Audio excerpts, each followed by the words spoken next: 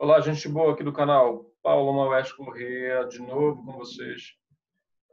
É, esses dias eu precisei acompanhar um ente querido até a sua última morada, no cemitério de Santa Isabel. É o maior cemitério que existe aqui na cidade de Belém. Você que é de fora e não conhece, essa é uma informação. Esse cemitério faz parte da minha infância porque ele fica localizado no bairro onde eu moro, onde eu nasci, me criei, o bairro do Guamá. E era muito comum na minha infância me reunir com alguns vizinhos para a gente ir apanhar manga no cemitério, tem muitas mangueiras lá.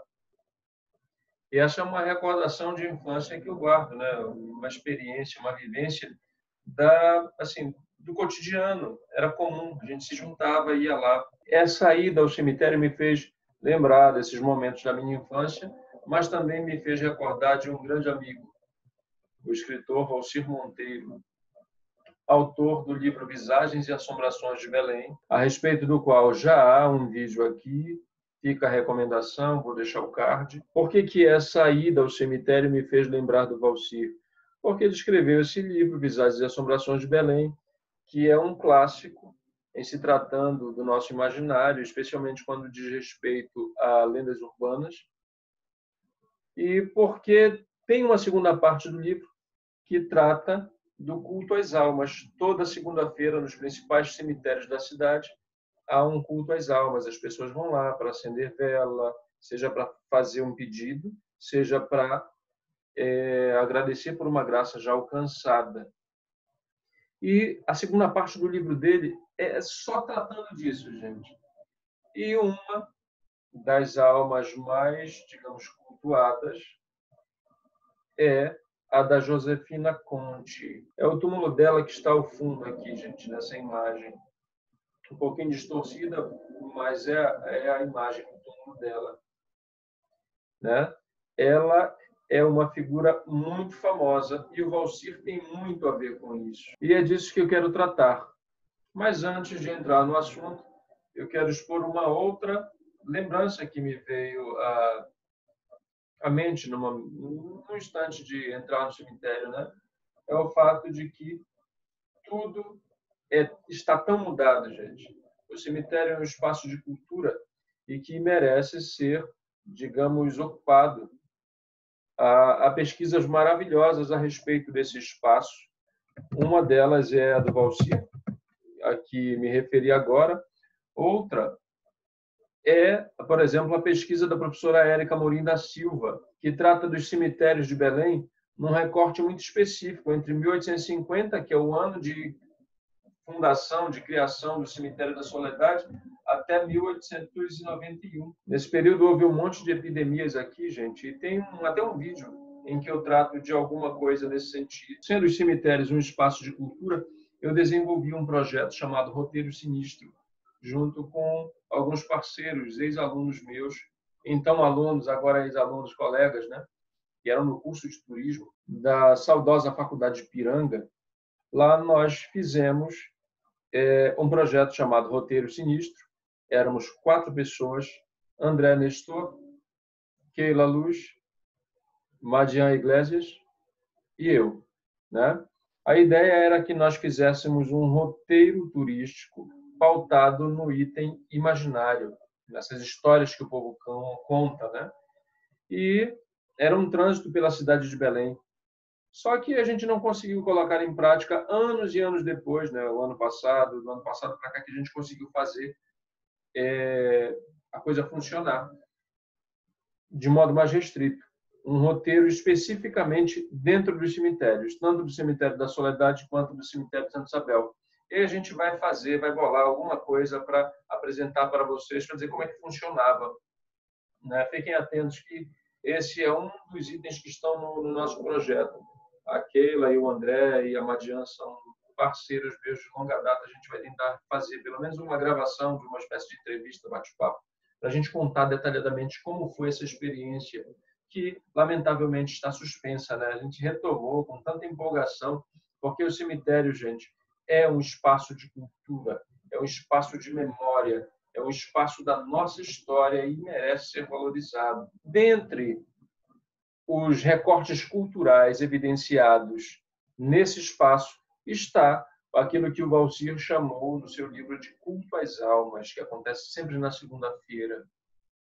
Né? Por isso esse vídeo está saindo na segunda-feira, ele é temático. Né? São várias almas cultuadas, a gente vai tratar das outras de, de um modo geral nesse outro vídeo com o grupo do Roteiro Sinistro. E aqui eu vou tratar da Josefina Conte e da relação dela com o Valcir. O Valcir, no final da década de 60, começou a observar que a televisão estava modificando os hábitos da sociedade no Pará, porque as pessoas deixavam de ir para as frentes das casas para conversar e falar das visagens, contar as histórias e passavam passaram a é, ficar diante da televisão. Isso foi uma mudança que ele observou. E ele, preocupado com que essa memória não se perdesse, passou a escrever nas edições dominicais da, do jornal A Província do Pará a série Visões e Assombrações de Belém, que deu origem ao livro. E, naquela altura, algumas histórias eram histórias que ele escutava na infância, outras que ele foi recebendo por cartas de leitores. Né? Eu disse isso bem lá no outro vídeo, assista, né? E aí, gente, é, o curioso é que a história da Josefina já era bem antiga. Ela faleceu, se não me falha a memória, em 1931. Misteriosamente faleceu. A família era uma família abastada, né? E o pai, se não me falha a memória, era dono de uma fábrica de sapatos, uma sapataria, né?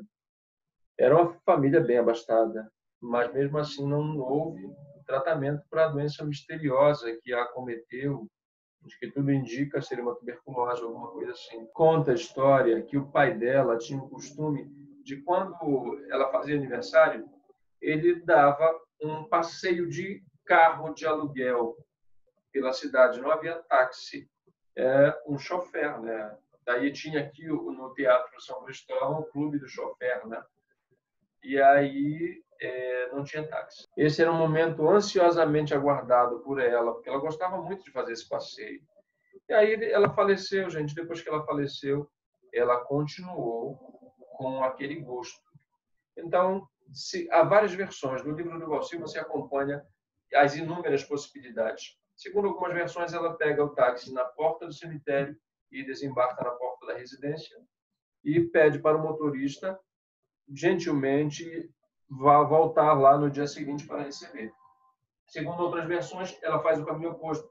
Pega o táxi às proximidades de sua residência e desce na porta do cemitério da mesma forma, diz para o motorista receber no dia seguinte na casa da família que o pai pagaria a conta. Então, nas primeiras ocorrências, eh, o motorista voltava lá no dia seguinte para cobrar e a família dizia, olha, nós não temos filha assim, assado, não, não, não. E aí o motorista, pela porta entreaberta, acaba visualizando uma fotografia, que é essa fotografia que está aqui atrás. Meio disforme, mas é essa fotografia. E aí que ele descobre que a moça já estava morta, né? já havia falecido. E essa história, gente, circulou, circulou, circulou, até que em 1972 o Valcir numa tentativa, de certa forma, de modernizar, de atualizar, então, a, a lenda, chamou de Moça do Táxi. Esse é o título da história, A Moça do Táxi, e pegou. De modo que a figura dela está tão atrelada, associada ao trabalho do Valsir, que falar de Moça do Táxi e não citar o livro do Valsir é, no mínimo, um absurdo. Gente, é muito curioso, porque ela não é só uma personagem, ela é também um objeto de culto. As pessoas vão lá e fazem seus pedidos. Algumas vão para já para pagar sua promessa, né, para agradecer pela por aquilo que foi alcançado, que foi concedido. E praticamente essa lenda existe em todo o canto do país da moça que pega um táxi. Qual que é a diferença em relação à nossa moça daqui? é justamente essa. Ela tem uma identidade. Ela é uma pessoa identificada. Você sabe quem é ou quem supostamente é. Esse é o grande diferencial.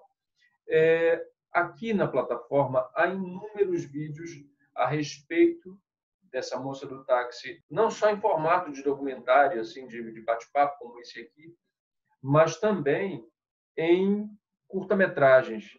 Uma coisa mais interessante que a outra. O mais famoso, evidentemente, é aquele em que o motorista é o saudoso Walter Bandeira. No livro do Valcir, há algumas considerações a respeito do destino desse motorista ou desses motoristas que encontraram lá. Ele dá um, um caso exemplar e aí vai apresentando, está no estilo de reportagem, né? vai apresentando as possibilidades para o desfecho da narrativa. Depois desse encontro com a moça do táxi, da descoberta de que ela já havia falecido, algumas alternativas são apontadas.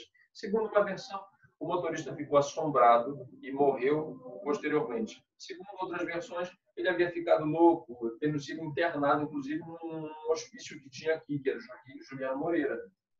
Uh, segundo outras versões, ele ficou assim meio espantado, mas conseguiu superar e conduzir a vida sem problema depois. Tá certo? Essa é a trama da lenda da moça do táxi, que é uma das lendas urbanas mais conhecidas que se tem aqui na cidade. Evidentemente não é a única, mas é uma das mais conhecidas.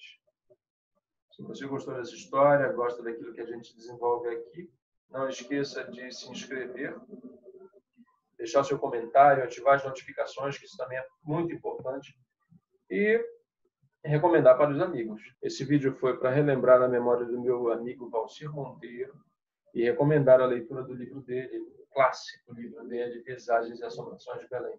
Boa leitura a todos, um grande abraço e até a próxima.